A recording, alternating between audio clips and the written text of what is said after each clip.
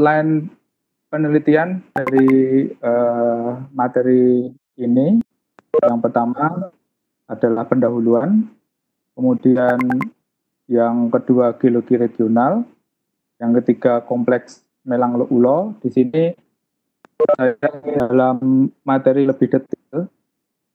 Uh, berikut ini adalah peta fisiografi regional dari Smith et al. tahun 2005.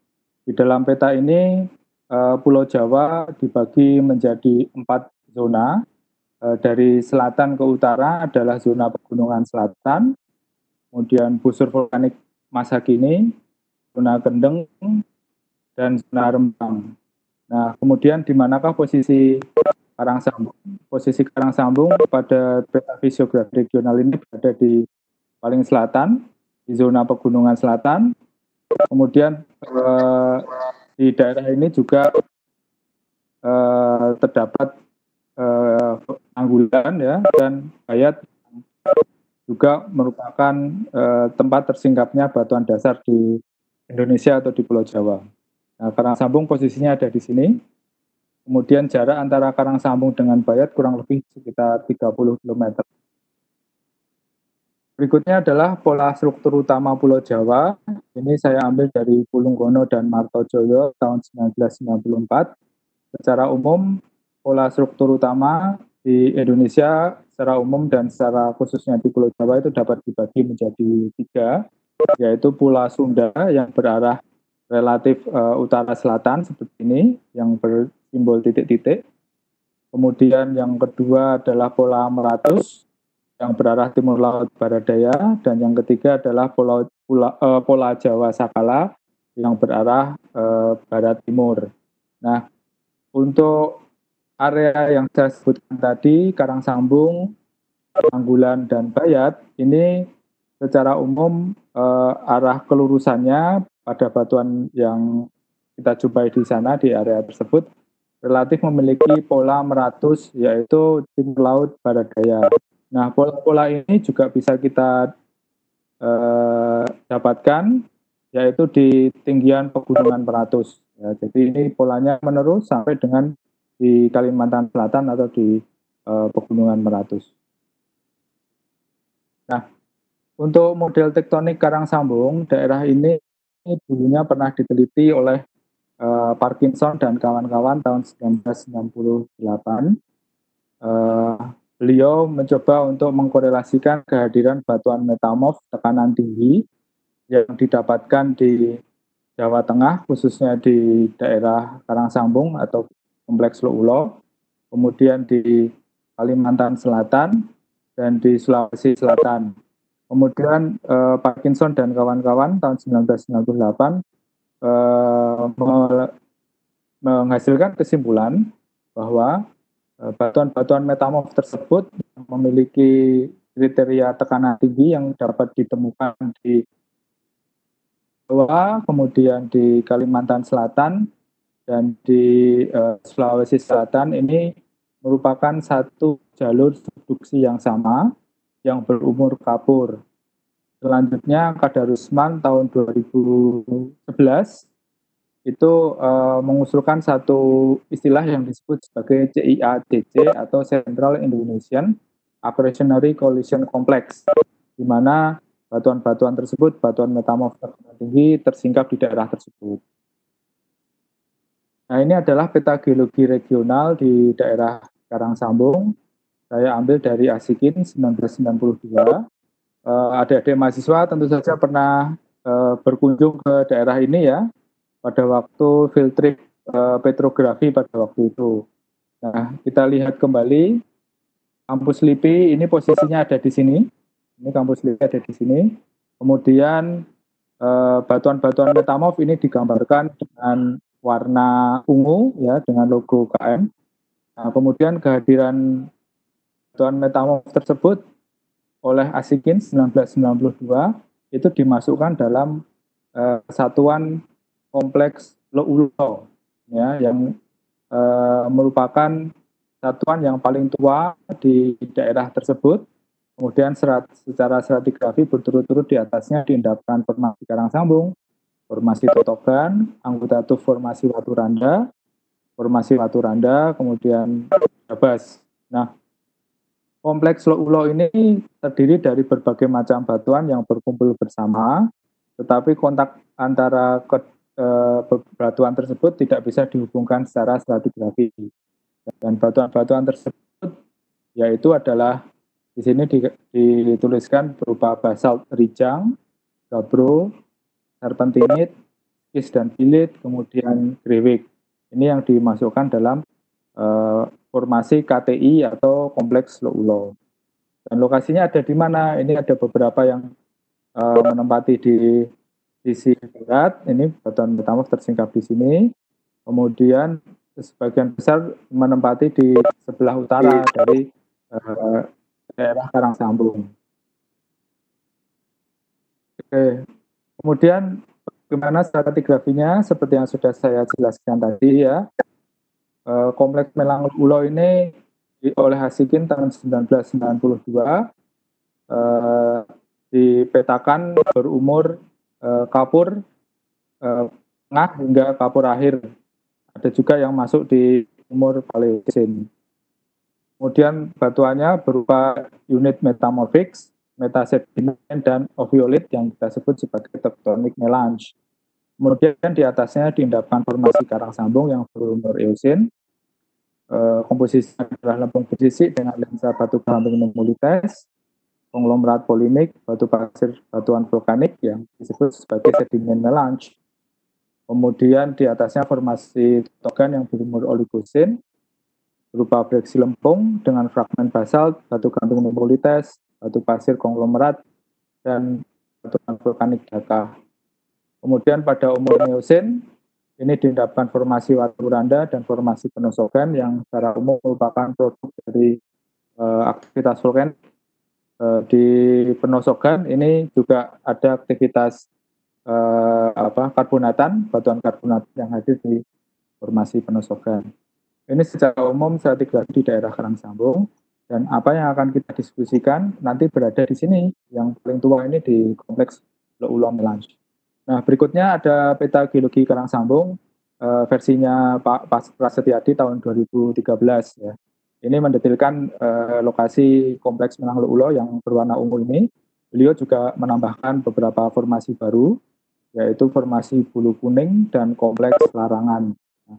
uh, formasi bulu kuning ini kemungkinan equal dengan apa yang tadi disebutkan oleh Asikin tahun 1992 sebagai uh, bagian dari kompleks Melang Ulo yaitu Griwik ya.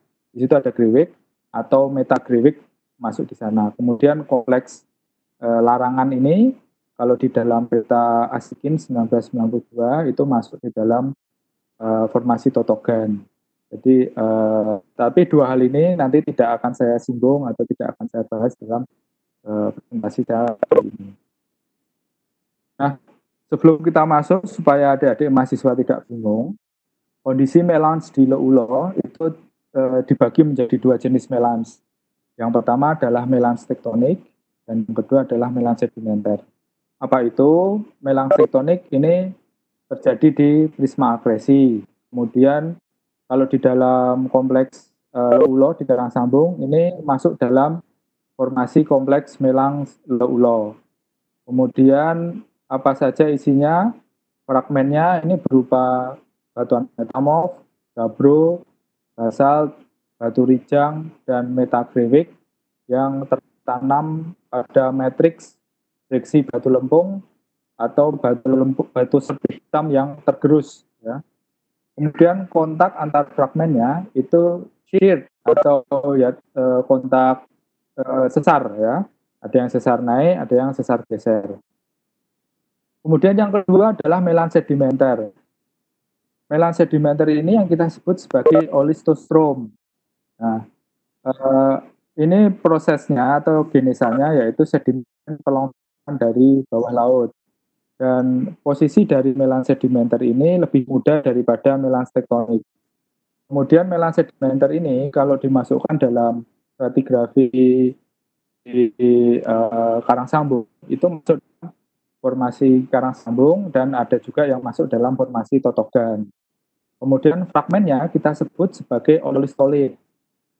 Fragmennya atau solidnya berupa batu gamping jati bungkus, kemudian batu gamping tumululites, konglomerat polimik, kemudian matriksnya apa? Matriksnya ini tertanam pada breksi e, batu lempung.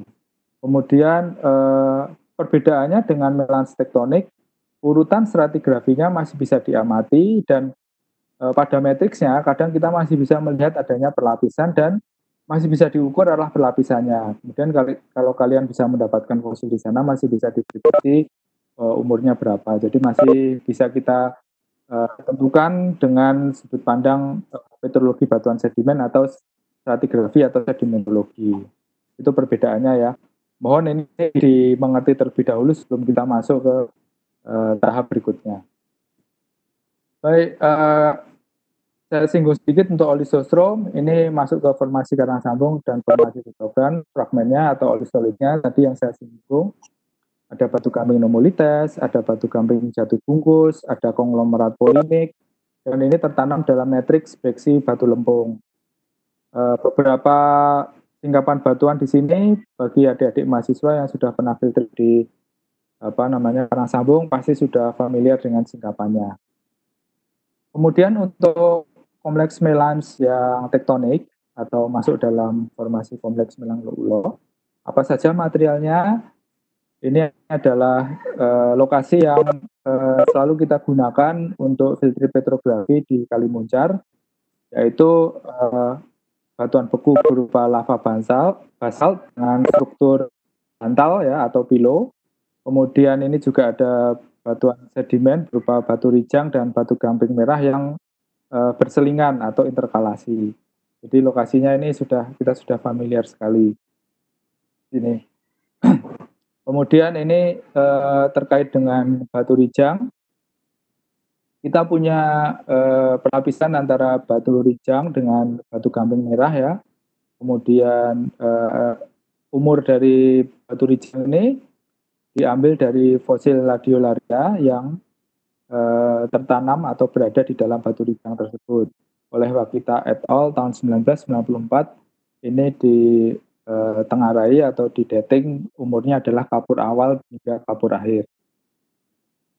Kemudian eh, berikutnya fragmen apa saja yang di kompleks Melang yaitu batuan ultramefik. Nah, batuan ultramefik ini bisa didapatkan dijumpai di Sungai Medana, Sungai Logidang, Sungai Parakan Subah, kemudian juga bisa didapatkan di daerah Pucangan. E, batuan ultramafic berupa gabro, piroksenit, websterit itu didapatkan di sana. Kemudian kalau kita mengacu pada seri oviolit yang ideal, yang dari Oman ya, ini kita bisa melihat adanya seri yang lengkap oviolit mulai dari ultramafic hingga ke dipsi sedimen yang paling atas. Nah, kalau kita coba korelasikan dengan seri ultra seri oviolit yang lengkap, maka batuan ultramafic di Karang Sambung itu masuk di dalam ini ya, berupa piroksenit maupun gabro. Kemudian uh, kita juga bisa mendapatkan mikro gabro di sana. Kemudian kita juga bisa dapat diabas, lava tadi sebelumnya saya sudah saya tunjukkan dan batuan sedimen laut dalam seperti batu rijang juga tadi juga sudah ada dengan dengan batu gamping merah. Kemudian berikutnya batuan metamorf yang berada di Karang Sambung itu bisa kita dapatkan berupa eklogit, kemudian eklogit mengandung baroisit, kemudian garnet skis biru, garnet amfibolit, kemudian serpentinit. Serpentinit ini eh, kadang masih bisa kita lihat protolitnya berupa batuan ultramafic, kemudian juga skismika. Ini batuan-batuan metamorf yang kita bisa kita jumpai di sana. Uh, selama pengalaman saya berada di meneliti di daerah Karangsambung, singkapan batuan metamorf yang bisa dilihat jelas in situ adalah skismika. Sementara batuan-batuan lain seperti terutama batuan metamorf tekanan tinggi itu tidak bisa dijumpai singkapannya, jadi hanya berupa bongkah-bongkah atau boulder laut yang berada di eh, sungai-sungai. Uh, Salah uh, beberapa sungai yang terdapat batuan metamorf tekanan tinggi adalah Sungai uh, di Kali Muncar dan di Kali Loning ya. Uh, kemudian serpentinit ini juga bisa kita lihat singkatannya. Kemudian uh, kompleks Melanglo Ulo itu tertanam dalam matriks apa ya? Ini uh, matriks dalam kompleks Melanglo Ulo yaitu batu lempung dan batu serpi hitam tergerus ya. Kemudian adik-adik mahasiswa mungkin juga bisa mendapati matriksnya uh, tidak hanya yang berukuran halus, tetapi kadang juga kita bisa mendapatkan matriks yang berukuran sedikit lebih kasar seperti pasiran ya, atau kondisinya semacam ini, kenampakannya seperti breksi semacam ini, tetapi ada kenampakan khas berupa bentuk yang uh, melensa seperti ini ya, melensa seperti ini yang kita sebut sebagai bodin ya. Jadi banyak dijumpai bentuk-bentukan semacam ini. Ini adalah matriks dari yang dianggap matriks di kompleks Melang Sulo. Jadi ada yang bentuknya seperti ini lempung bersisik atau ada yang bentuknya bodin seperti ini. Ada juga yang kalau adik-adik mahasiswa masih ingat itu di kelokan di Kalimuncar itu ada lempung bersisi yang benar-benar tergerus, halus, permukaannya halus sekali. Nah, ada hal semacam itu, itu kemungkinan tepat di bagian sirnya. Ya, di bagian sir dia akan lebih halus. Tapi kalau ada adik mahasiswa terutama yang punya kapling KL di daerah Karang Sambung, tidak mendapati uh, matriks yang halus macam itu tidak masalah, mungkin karena tidak di bagian sirnya, jadi penampakannya akan lebih uh, seperti di foto yang di sebelah kiri ini. Kadang bentuknya seperti breksi, tetapi adik-adik mahasiswa masih bisa melihat bentuk bodin yang macam ini. Ya. Sebenarnya bentuk-bentuk semacam ini juga akibat dari shear ya. Bagian atasnya ini menggerus, bagian bawahnya juga menggerus. Bentuknya seperti augen ya atau uh, seperti Bodin. Baik, uh, kemudian berikutnya saya akan konsentrasi untuk membahas di batuan metamorf tekanan tinggi. Batuan metamorf tekanan tinggi apa saja yang bisa dijumpai di uh, kompleks uh, Leulo, yaitu eklogit, ya, eklogit. Kemudian ini kelihatan di sini garnetnya, uh, porfiroblastik, kemudian matriksnya berwarna hijau ini adalah ompasit. Kemudian kalau adik-adik mahasiswa melihat dengan detail, di sini ada yang berwarna kekuningan ya. Ini kemungkinan adalah epidot. Ya. Berikutnya uh, eklogit yang mengandung baroisit. Nah, baroisit ini salah satu dari grup amfibol yang uh, bertekanan tinggi. Jadi amfibol tekanan tinggi tetapi ada suhunya yang agak lebih tinggi jadi bisa berupa glukovan ataupun bisa berupa baroisit. Glukovan kalau lebih banyak sodiumnya, sedangkan baroisit kalau ada kandungan CA-nya. Jadi ini baroisit, teksturnya adalah nematoblastik. Kadang kita bisa mendapatkan tekstur seperti kelopak bunga atau roset ya. Dan ini kadang kontak dengan eklogit ya. Ini ada batas kontak antara eklogit dan eklogit mengandung baroisit. Kemudian eklogit ini juga kadang kontak dengan garnet skis biru di sini ya. Ini garnet skis biru. Biru dongker ini komposisinya sebagian besar berupa glokovan. Kemudian di sini adalah eklogit. Kemudian kadang kita juga bisa menjumpai granovels jadi glokovan garnet ya. Ini yang berwarna hijau porfiroblastik ya uh, acak semacam ini, ini adalah jadeit. Kemudian uh, matriksnya yang berwarna biru gelap, ini adalah glukovan. Nanti uh, garnet ada, tapi halus. Nanti kalau dalam sehatan tipis akan kelihatan. Nah ini adalah sehatan tipis dari sampel-sampel yang saya sebutkan tadi. Ini eklogit, kita bisa mendapatkan garnet seperti ini. Garnetnya tidak Eh, bentuknya mungkin masih uh, subhidral ya. Bentuknya tengahnya ini sudah tercacah-cacah, uh, terisi oleh klorid, kemungkinan akibat dari retrogresi. Kemudian kalau adik-adik mahasiswa beruntung bisa mendapatkan radial texture, berarti kalian menemukan bukti batuan metamorfnya mengalami metamorfisme tekanan sangat tinggi. Jadi langka sekali sampai sekarang saya masih belum mendapatkan buktinya di sana. Kemudian kontak langsung dengan omfasit artinya dia uh, equilibrium pada kondisi yang bersama. Kemudian di bagian matriksnya kita dapat glukovan, fengite, ya. Ada beberapa menunjukkan uh, epidot juga. Kemudian ini garnet bentuknya masih bagus, uh, euhedral. Kemudian di matriksnya banyak glukovan, juga banyak titanit sebagai pengotor di sana. Kemudian ada juga yang tidak mengandung garnet, tapi epidotnya banyak. Nah ini epidot glukovan cis atau skis glukovan epidot ya, ada rutil, epidotnya banyak sekali ini yang reliefnya tinggi. Kemudian skistosiknya masih bisa kelihatan dari foliasi penjajaran dari epidot. Kemudian tadi yang granovels eh, jadeit glukovan garnet, ini sayatan tipisnya seperti ini, eh, jadeit, ini eh, porfiroblast seperti ini ya, uh, apa namanya mengelompok-mengelompok semacam ini seperti uh, spotted ya, spotted-spotted semacam ini. Nah, kalau kita perhatikan di dalam jadeit itu ternyata ada garnet yang berukuran halus dalamnya. Kemudian matriksnya ini, ini banyak dijumpai uh, nematoblastik dari glokovan. Ini warnanya kebiruan.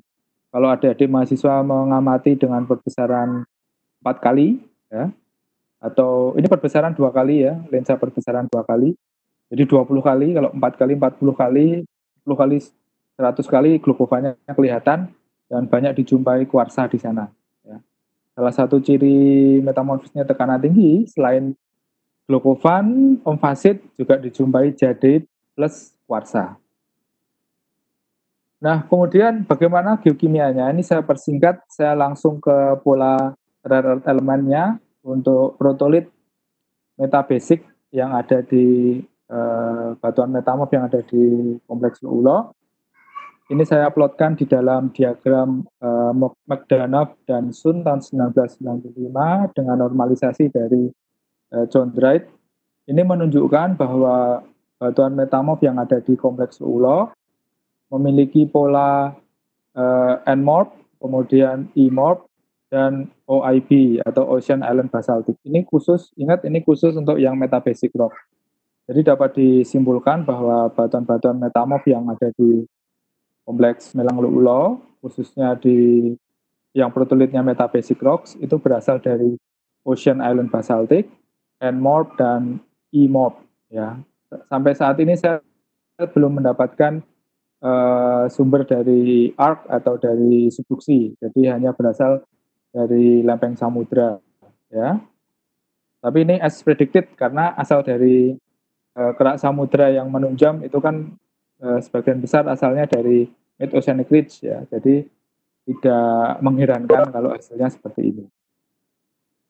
Kemudian berikutnya uh, perhitungan dari suhu dan tekanan metamorfisme pakai rumus termodinamika dan paragenesa mineral digabungkan dengan kimia mineral. Ini uh, dihasilkan dari beberapa peneliti dapat disimpulkan semacam ini. Jadi untuk eklogit ini uh, menurut Kadarusman dan kawan-kawan tahun 2007 ini tekanannya 2,0 sampai 2,3 gigapascal dengan suhu ini relatif rendah suhunya ya. Uh, 365 hingga 410 derajat Celcius. Kemudian uh, agak berbeda dengan hasil dari Setiawan tahun 2013 ini saya lakukan pada waktu uh, studi S3 saya itu 2,15 hingga 2,25 Pascal, suhunya 550 hingga 625 derajat Celcius. Termasuk dalam tekanan tinggi ya. Kemudian uh, batuan metamorf tekanan tinggi yang lain yaitu garnet glucofensis itu 2,1 hingga 2,3 gigapascal 473 hingga 557. Ini agak sedikit suhunya lebih rendah daripada eklogit yang sebelumnya juga termasuk tekanan tinggi. Kemudian menurut Miyazaki tahun 1998 dia melakukan penelitian di Jadeit Quartz Globovan Rock. Ini suhunya eh tekanannya 2,2 pada suhu 530 plus minus 40 derajat Celcius bertekanan tinggi. Kemudian ada satu batuan yang cukup unik yang berbeda daripada yang lain yaitu garnet amfibolit Menurut Setiawan dan kawan-kawan tahun 2020 under review, hari ini sudah tepat sebelum kuliah ini saya sudah mendapatkan hasil bahwa disetujui dan siap dipublikasikan. Ini eh, perhitungan saya adalah 0,9 hingga 1,43 Pascal, suhu 558 hingga 606 derajat Celcius dikategorikan sebagai tekanan menengah. Jadi ini cukup berbeda dari uh, batuan metamorf tekanan tinggi yang lain yang ditemukan di karang sambung dan uh, batuan metamorf ini tidak bisa dijumpai di daerah mana pun uh, terutama di daerah Bantimala batuan metamorf granit amfibolit ini tidak bisa dijumpai. Ini yang membuat kompleks Melang Ulo cukup unik dari model pembentukannya ya. Baik, uh, berikutnya ketika saya kompilasi dari hasil penelitian uh, perhitungan suhu dan tekanan tersebut dibandingkan dengan batuan metamorf lain di Central Indonesian Accretionary Complex, ternyata uh, hasilnya mepet-mepet ya, dempet-dempet di sini ya. Yang merah ini dari garnet glucofensis, biru putus-putus ini dari eklogit uh, ulo kompleks, hitam putus-putus ini dari Mala kompleks eklogit Kemudian yang arah panah ini dari Bantimala juga, Eklogit eh, juga, Garnet Glucofensis, ini puncaknya dari Miyazaki et al. Kemudian yang agak berbeda ini, di bawah ini adalah Garnet eh, Biotit Muscovit ya, dari Kis Garnet Biotit Muscovit dari baru kompleks dan ini Garnet Amphibolite di sini. Uh, secara umum hasilnya mepet-mepet dan uh, kita masih bisa melihat pola yang sama. Jadi interpretasi saya tidak jauh berbeda dengan Parkinson 1998 bahwa dulunya kemungkinan memang satu jalur subduksi yang sama yang uh, merujuk pada pola kelurusan yang sama yaitu pola meratus. Oke. Okay. Kemudian uh, itu batuan metamorf sekarang kita berpindah ke fragmen lain yang ada di kompleks Melaleulo yaitu batuan ultramafic. Nah, eh, belum lama ini kami ya, ya, yaitu eh, saya dan bimbingan mungkin kalian juga sudah kenal ada Kardo eh, Manusia Kutub, Kardo Polarman, kemudian eh, Fahmi Adiatma ya. Kami melakukan penelitian eh, untuk level jenjang S1 mereka yaitu batuan ultramafic di kompleks Lulo. Ini sampel-sampel yang diambil di daerah sana, eh, khususnya adalah batuan ultramafic dan mafic yang bagian dari uh, oviolit ya. Ini sampel yang kami ambil di sana.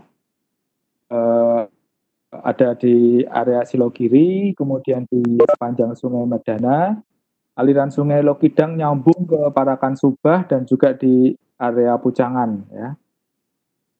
Ini uh, foto-foto singkapan yang ada di sana, kami konsentrasi mengambil untuk yang seri kulitnya, yaitu batuan ultramafic, kemudian uh, seri batuan mafic berupa gabro dan basalt yang ada di uh, sepanjang sungai Medana dan di area-area yang sudah saya sebutkan sebelumnya.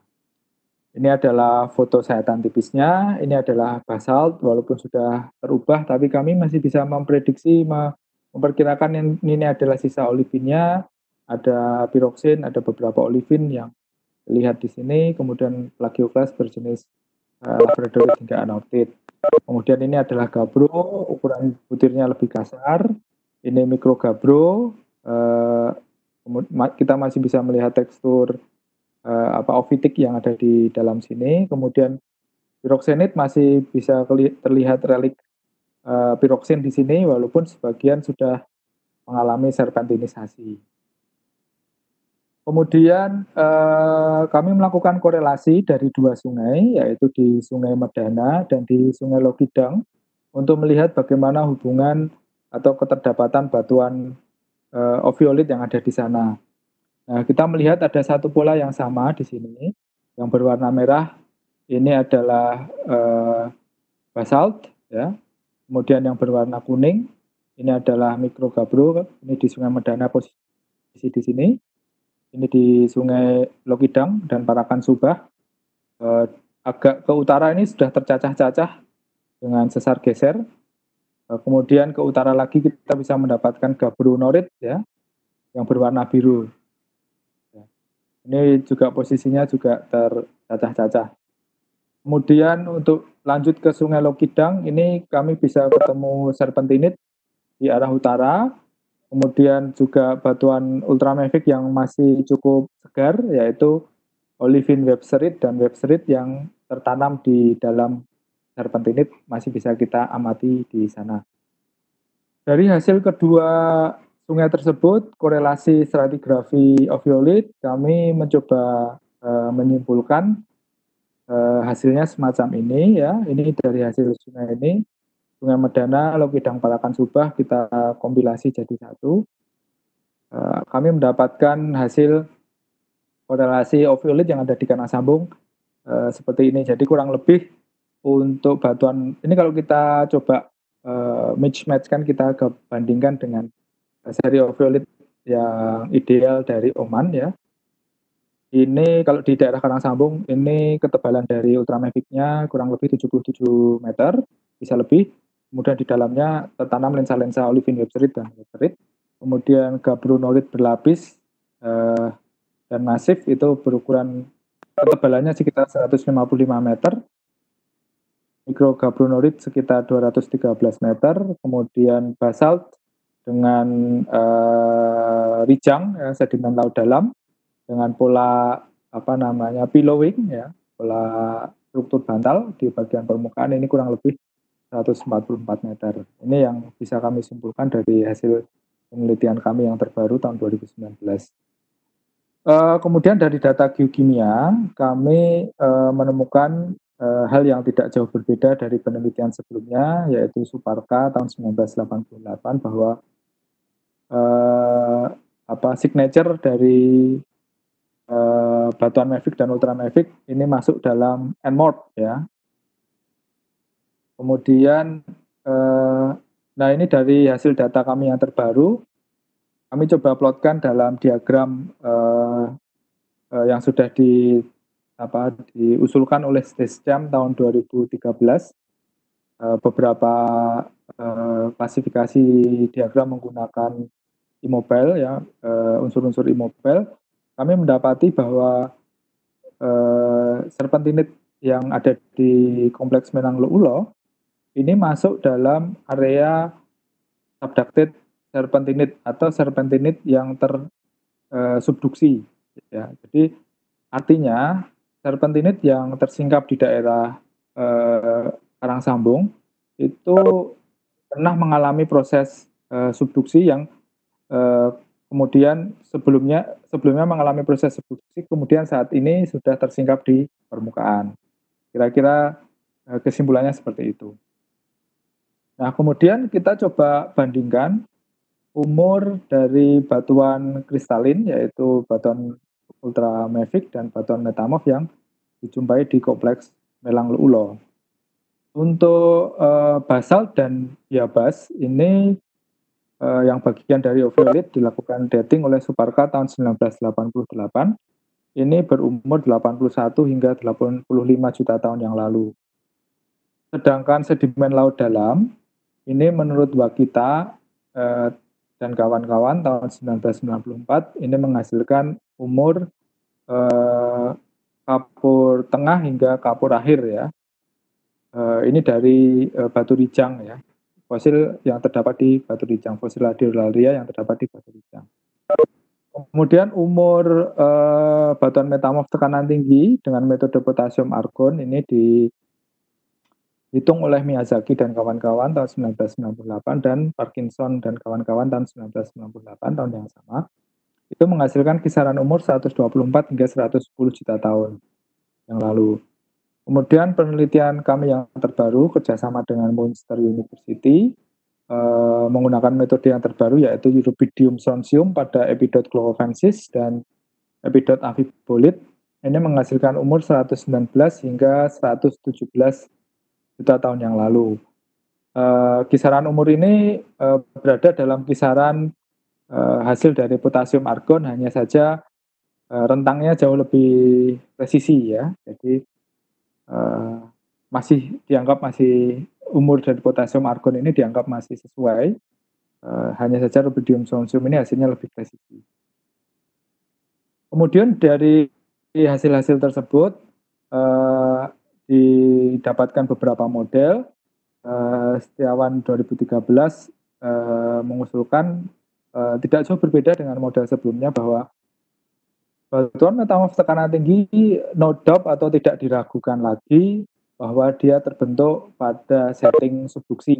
Karena tadi ya hasilnya tekanannya tinggi kemudian eh, apa mencapai dua lebih dari 2 gigapascal pasti kedalamannya akan mencapai lebih dari 100 km jadi eh, yang hanya bisa menghasilkan metamorf semacam itu adalah batuan metamorf dengan proses pembentukan di eh, tekanan tinggi atau di jalur subduksi.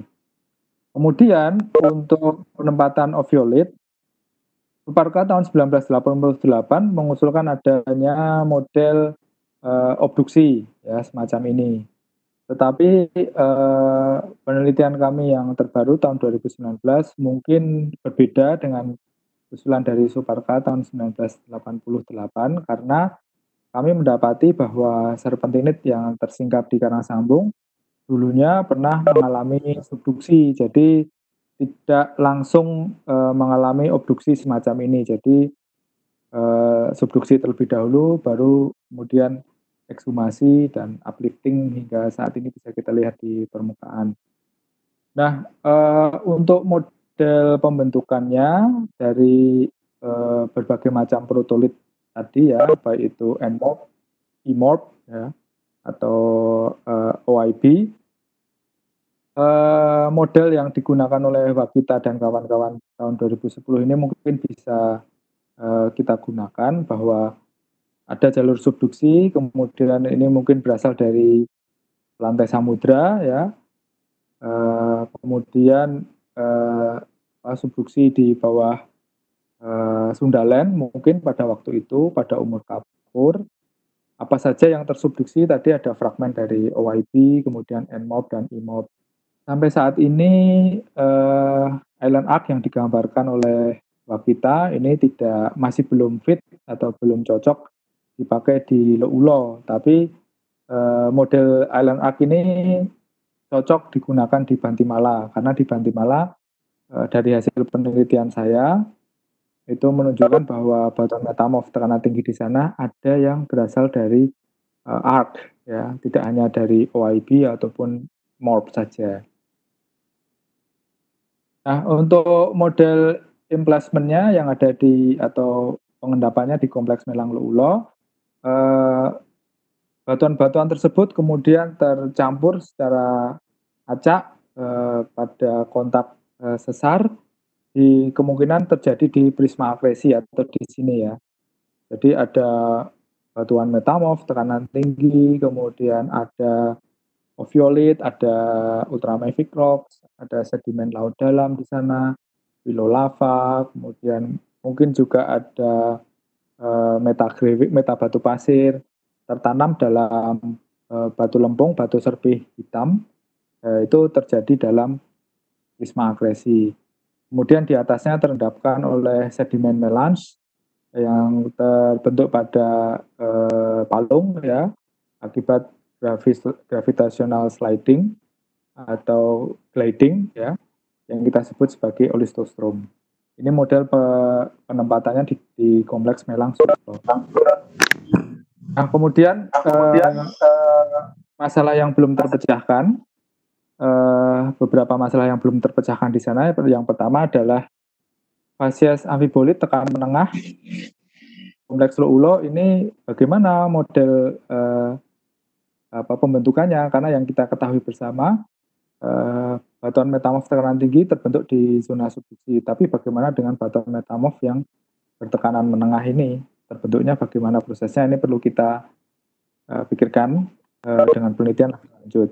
Kemudian selain itu di kompleks Melang Slulo juga ternyata ditemukan granitoid yang eh, memiliki afinitas busur kepulauan. Jadi bagaimana kaitannya dengan eh, batuan metamorf atau kompleks melang tersebut yang ada di sana, hubungannya seperti apa, lingkungannya bagaimana, ketika di sana ada prisma agresi, tetapi kok juga muncul eh, granit di sana itu seperti apa? Apakah ada hubungannya dengan fase amfibolit yang di atas ini ya?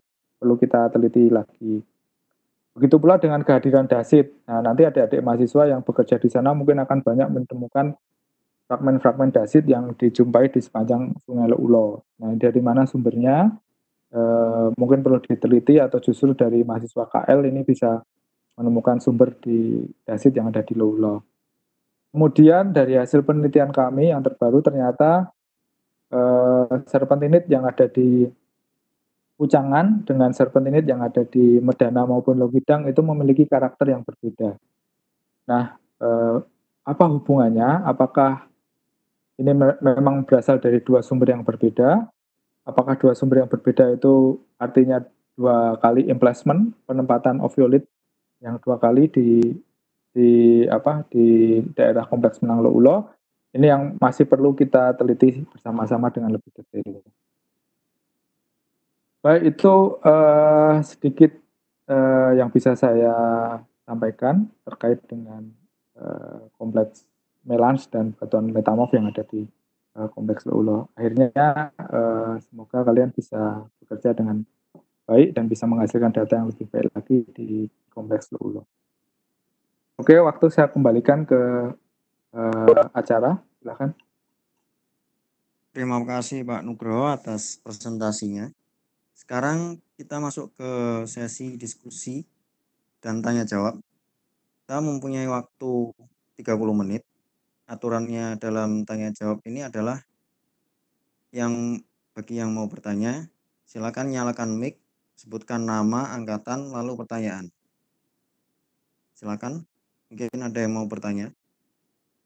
Izin pertama, izin bertanya. Nama saya Ignanda Januari Saldi dari Angkatan Geologi Angkatan 2018. Izin bertanya Pak, apakah ada data geokimia yang menunjukkan uh, lempeng samudra atau seri affiliate itu apakah dia enrich MORB atau normal MORB atau oceanic intrabasal dan apakah cocok dengan seri meta basal yang telah ada data geokimianya? Dan pertanyaan kedua uh, bagaimana bisa ada dua jenis dua jenis lempeng samudra yaitu enrich MORB dan NMORB dalam satu dalam satu daerah yang terbilang cukup sempit itu, Pak. Terima kasih. Terima kasih Izal. Silakan Pak Nugroho untuk ini saya langsung menjawab. Oke, uh, langsung saya jawab ya. Baik, untuk pertanyaan yang pertama, data geokimia dari serioviolit. Ya, uh, penelitian terdahulu oleh Suparka tahun 1988 menghasilkan kesimpulan dari batuan mafic dan ultra eh batuan mavicnya. Karena kalau batuan ultra mafic akan sulit kita ketahui setting setting tektoniknya ya, yang bisa kita gunakan adalah batuan mafic ya.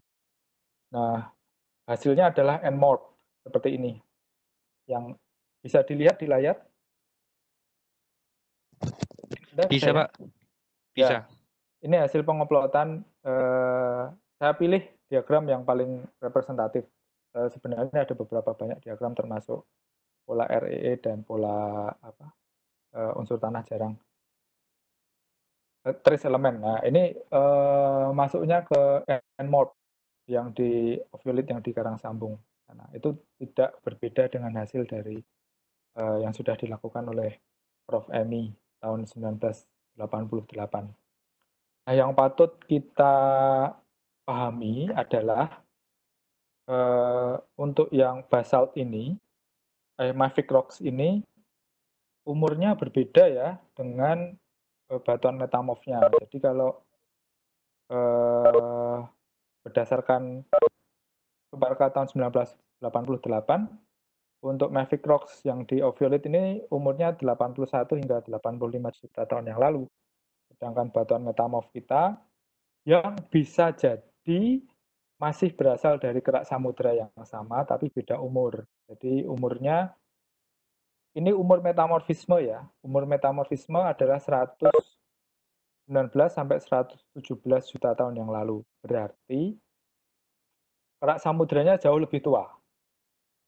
kerak samudra yang menunjam jauh lebih tua. Mungkin bisa uh, saya tidak tahu, mungkin selisihnya bisa 50 juta atau 100 juta tahun yang lalu dibandingkan dengan umur ini. Jadi uh, adalah kerak artinya kerak samudra yang berbeda dengan oviolit yang diambil oleh Suparka ini. Bisa jadi masih satu kerak yang sama atau memang sudah berbeda. Itu. Kemudian eh, bagaimana bisa NMOP dan IMOP hadir bersama dalam satu area ya. Nah, yang patut diketahui adalah perbedaan antara IMOP dan NMOP itu sebenarnya hanya wiggle sedikit di sini ya. Jadi eh, LREE-nya atau light rare earth elements-nya itu sedikit enrich di IMOP, sedangkan di NMOP itu sedikit depleted di sini. Ini kalau kalian bisa lihat LREE-nya ini sedikit depleted di atau miskin di NMOP, sedangkan di IMOP ini sedikit enrich. Perbedaannya di situ. Nah, uh, saya tidak memiliki jawaban yang confidence tentang hal itu, mengapa bisa NMOP dan IMOP.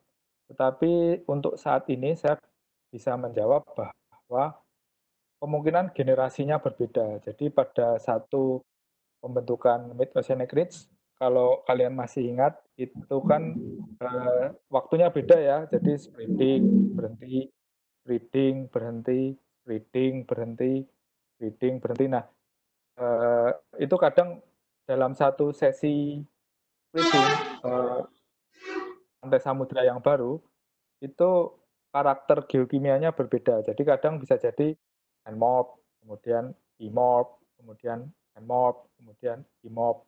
Nah, di satu titik mungkin ada hotspot di antaranya yang jadi OIB. Jadi uh, ada satu karakter OIB yang bisa kita lihat atau Ocean Alien Basaltic di uh, sebagai protolit Mavic Rocks di High Pressure Metamorphic Rocks.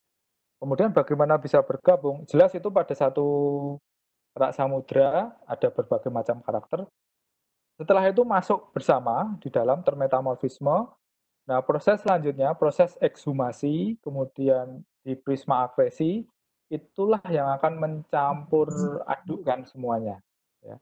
Yang akan mencampur adukkan material-material dengan protolit yang eh, karakter protolit yang sama tapi karakter geokimia yang berbeda itu akan dicampur adukkan dalam prisma akresi ataupun di pada waktu proses ekshumasi eh, setelah proses metamorfosis. Kira seperti itu Ignanda, apakah bisa dipahami? Uh, uh, bisa Pak. Terima kasih Pak. Sebelumnya. Baik, terima kasih Pak Nugroho atas jawabannya. Diberikan kesempatan, ada lagi yang mau bertanya? Nah, saya ingin bertanya, Pak. Nama saya Satria Widi, angkatan 2018. Jadi ada dua pertanyaan yang saya ingin ajukan. Pertama, tadi sempat disinggung tentang serpentinisasi. Itu uh, prosesnya gimana ya, Pak? Terus yang kedua, uh, tadi kan di apa namanya penelitian di ULO itu ada perbedaan ketebalan layer dari batuan ultramafic. Nah itu metode yang digunakan untuk pengukuran ketebalannya itu seperti apa? Terima kasih Pak. Ya. Ya, terima kasih Satria. Silakan Pak Nugroho. Baik, terima kasih. Untuk uh, serpentinisasi uh, sebentar saya carikan slide mungkin yang lebih representatif di Baik, untuk pertanyaan yang pertama proses serpentinisasi ya. Nah uh, proses serpentinisasi jauh yang saya mengerti dan teori yang ada di dalam textbook. Proses serpentinisasi ini terjadi di uh, bisa terjadi di dua tempat yang pertama uh, David Oceanic Ridge, kemudian yang kedua pada waktu hydrated mantle di mantle wedge ini atau baji mantle. Nah, uh, prosesnya simple, artinya uh, yang terjadi adalah hydrated metamorphism. Jadi ada batuan ultramafic uh, dalam hal ini di daerah mantel, mantel itu bisa yang ada di MORB ya. Uh, kalian bisa membayangkan di situ MORB, kemudian di MORB itu karena ada gaya ekstensional, di sana akan ada kekar maupun ada sesar yang terbentuk. Nah, di, di antara kekar dan sesar tersebut uh, menjadi celah atau menjadi ruang bagi air laut untuk bisa mempenetrasi hingga ke mantel, kemudian membasahi dan proses serpentinisasi terjadi. Itu proses yang pertama. Kemudian proses yang kedua, serpentinisasi bisa terjadi di baji mantel. Nah, di baji mantel ini uh, hydrated dari proses subduksi, jadi uh, mineral itu batuan yang mengandung air itu mengalami uh, terdehidrasi akibat peningkatan suhu, kemudian H2O-nya akan membasahi di baji mantel dan ada mantel yang e, mengalami proses serpentinisasi. Jadi ada dua proses serpentinisasi, tapi secara umum e, prosesnya sama. Ada dua lokasi terserpentinisasi, tapi prosesnya sama yaitu hydrated metamorphism. Itu untuk pertanyaan yang pertama. Kemudian pertanyaan yang kedua, bagaimana menghitung perbedaan layer stratigrafi? E, kami menghitungnya sederhana saja.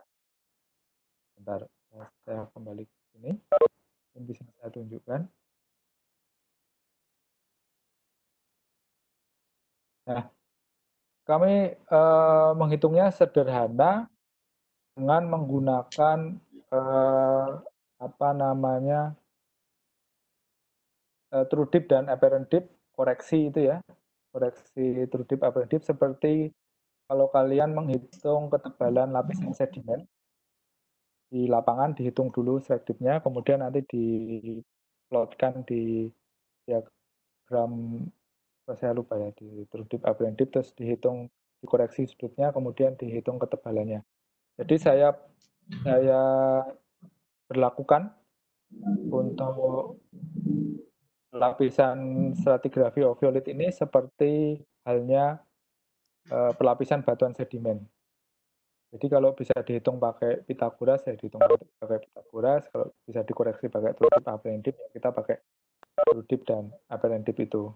Kan e, memang kita menjumpai adanya e, dip dari eh, masing-masing e, oviolit di lapangan maupun kita juga memperkirakan dari e, ini apa namanya digital elevation model ini kita bisa memperkirakan e, sudut uh, lereng yang uh, membedakan antar antar lapisan atau layer pada oviolit.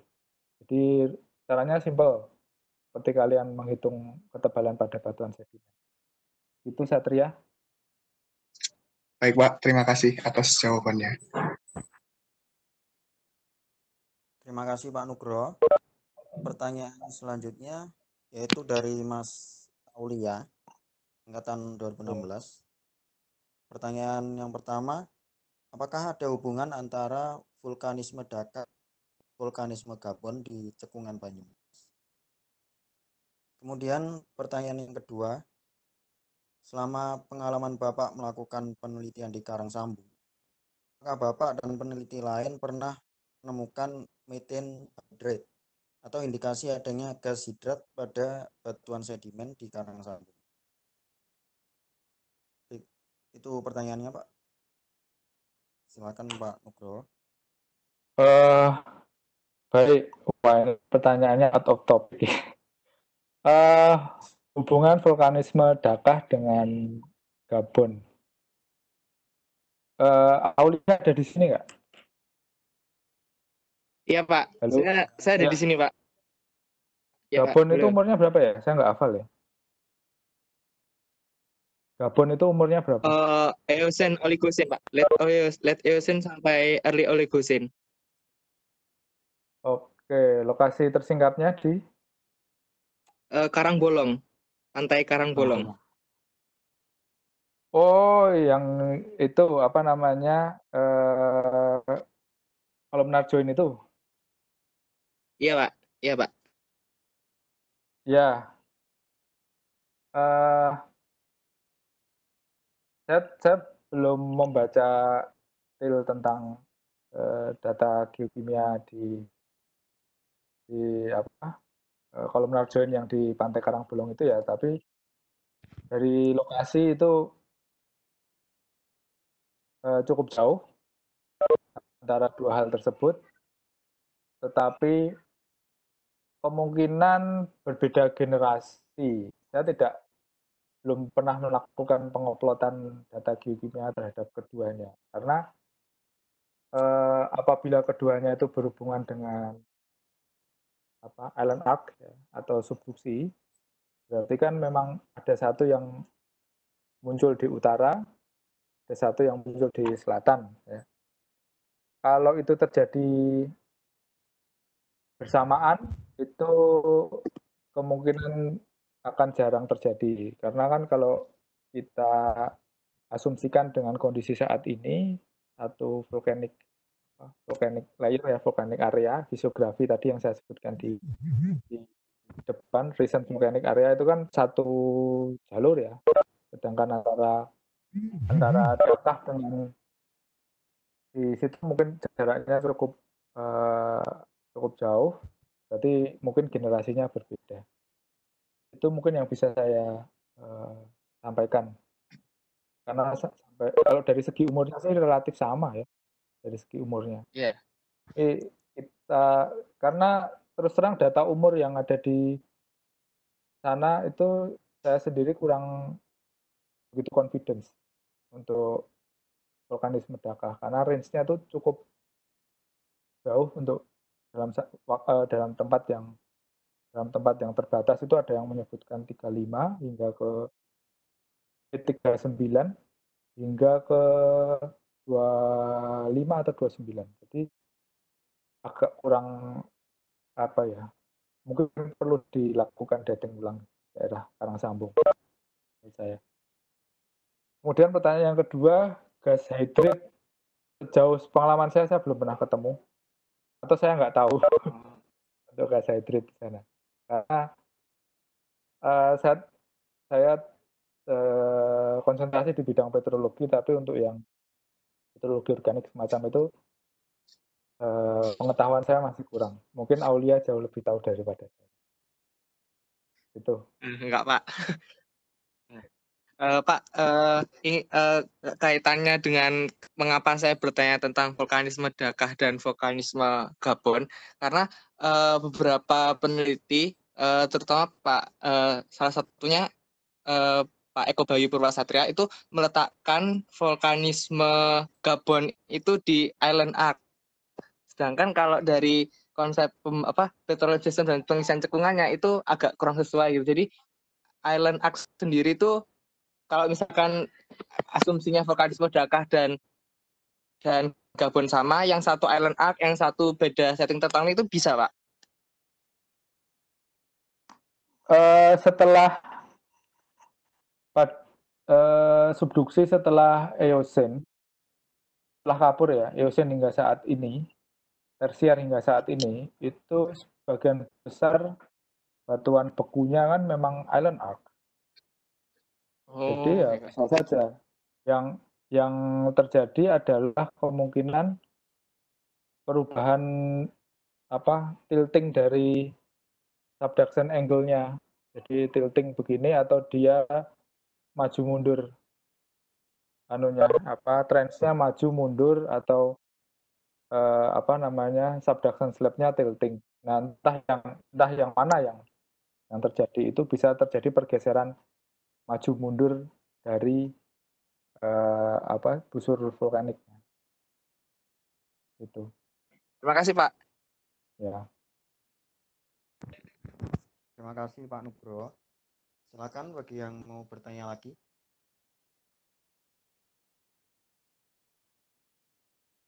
Izin bertanya Pak. Perkenalkan saya Lutfi Aryani dari Angkatan 18. Ya uh, untuk granit unsur kepulauan yang dimaksud Pak Nugroho itu granit yang berasal dari diferensiasi lanjut magma basal atau dari produk post kolisi organik Pak? Dan eh, apakah di sana terdapat granit tipe S ya Pak? Terima kasih. Eh, baik untuk granit yang pasti di sana eh, saya koreksi ya, mohon, mohon maaf gra- granitoid yang seingat saya itu kak alkalin bukan unsur kepulauan. Jadi granitnya tipenya adalah kak alkalin. Kemudian eh, apakah itu dari diferensiasi dari eh, basalt sampai sekarang saya tidak ketemu yang Mavic Rock-nya. Jadi hanya langsung ketemu granitnya yang pasti dia terbentuk di Pluton ya.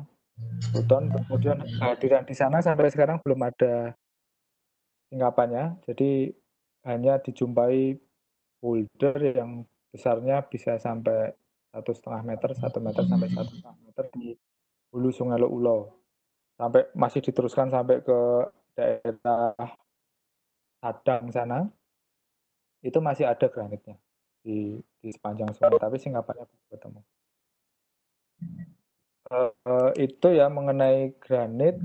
Nah itu less known juga less known jadi artinya masih belum belum terbuka uh, apa granitnya itu di sana bagaimana prosesnya kemudian apa hubungannya dengan uh, apa produk-produk vulkanisme yang saat magmatisme yang saat yang pada kurun waktu itu terjadi setelah metamorfisme hubungannya seperti apa kemudian granit itu statusnya bagian dari kompleks Melang Ulo atau inisiasi dari subduksi yang baru setelah subduksi Kretasius itu berhenti.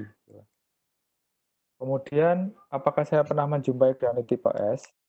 uh, penelitian saya yang saya lakukan terhadap granitoid di Karangasambung itu sebenarnya adalah uh, terinspirasi dari salah satunya adalah modelnya Wakita ini ya.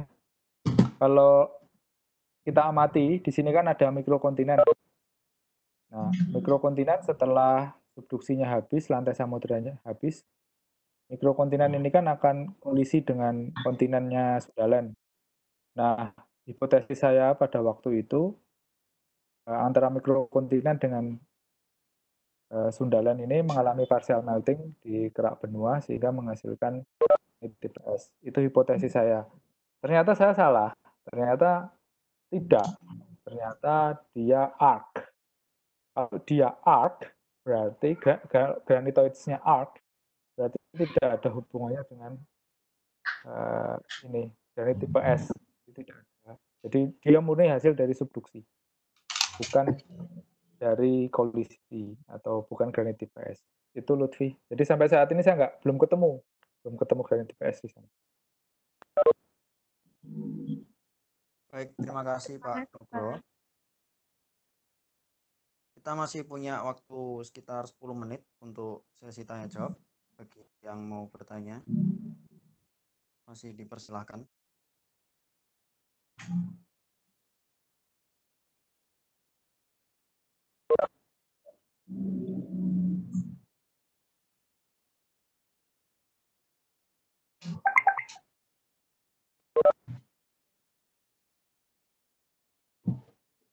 Apakah ada yang mau bertanya?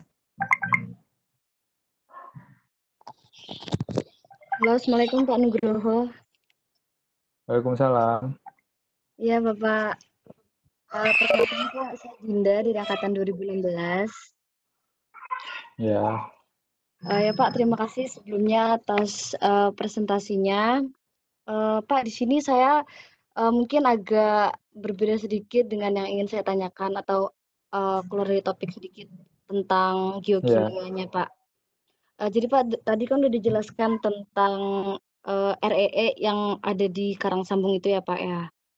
Terus saya Betul. lihat untuk REE-nya baru ada uh, eh, 14 unsurnya. Nah, kemudian Pak yang ingin saya tanyakan adalah uh, ditemukannya kehadiran REE Pak uh, hubungannya dari antara REE scandium di Pomala Uh, Hmm. Kemudian juga ada RES skandium yang ditemukan di skripsinya Mas Fahmi Adiatma Pak yang sebelumnya saya ikuti di kolokiumnya.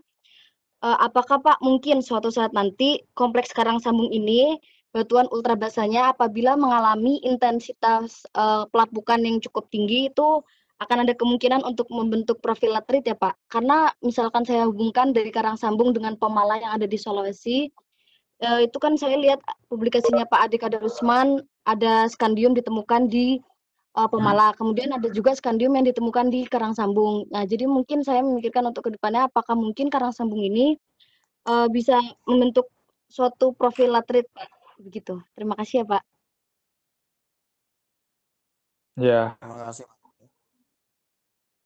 Silakan Pak Nugroho. baik. eh, terima kasih Dinda. Pertanyaannya cukup bagus. Eh, saya punya data sedikit tentang hal itu. Apa yang saya lakukan, penelitian yang saya lakukan di Karang eh, di Karang Sambung untuk skandium itu terbatas hanya di apa namanya eh, batuan asalnya ya. Mungkin bisa saya share hasilnya sebentar. Eh, saya cari.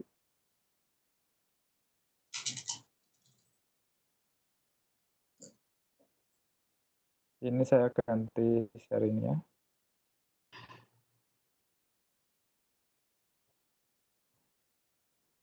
Ini bisa dilihat, uh, Dinda? Iya, Bapak. Wah, Ya. bagus, Pak. Ya Allah.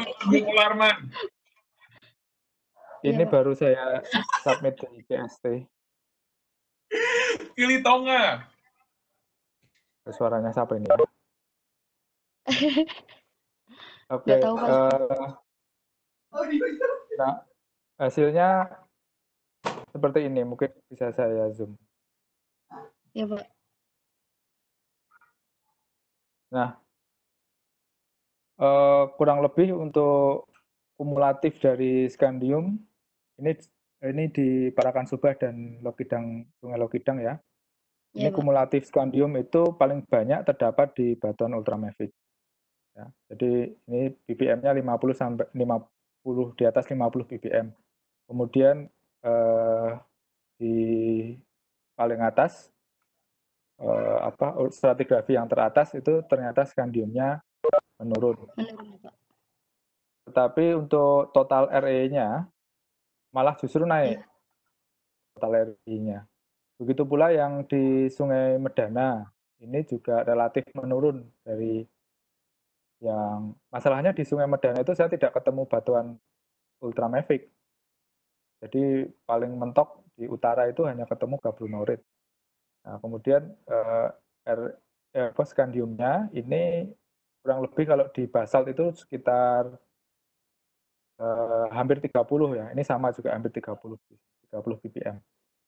Kemudian relatif eh, REY-nya relatif meningkat, justru meningkat. Jadi berbanding terbalik dengan yang ada di eh, apa namanya skandium. Jadi total REY-nya lebih banyak di di bagian atas, stratigrafi teratas, tapi skandiumnya lebih banyak di stratigrafi yang paling bawah. Nah, Oh, iya, Pak. eh, Berarti kaitannya dengan yang di Pomala, apakah ada kemungkinan kalau dia lapuk ya? Ini kan studi saya hanya di batuan asalnya. Nah, Iya, sebenarnya di Sungai Medana dan Sungai Lokidang Parakan Subah itu profil latritnya tebal sekali. Jadi bisa sampai 10 meteran lebih.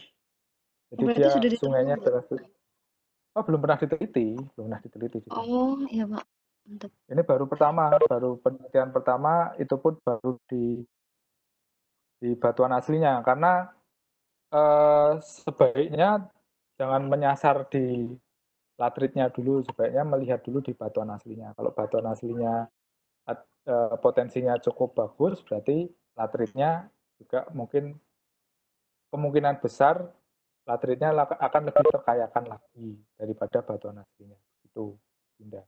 Oh, iya, Pak. Terima kasih ya, Pak ya. Nah, yang yang harus dipikirkan atau dipahami adalah kompleks Menanglo Ulo ini adalah uh, geoheritage sudah ditetapkan sebagai geoheritage. Jadi Ah ya segala betul, jadi macam nggak bisa ditambang ya Pak. tidak bisa ditambang. Tapi kalau mau mau penelitian sebagai analogi untuk lokasi lainnya itu dipersilahkan. Itu kira-kira. Baik Pak. Terima kasih Pak. Ya. Terima kasih Pak Nugroho. Diberikan satu kesempatan pertanyaan lagi. Karena waktu tinggal lima menit. Maka ada yang mau bertanya?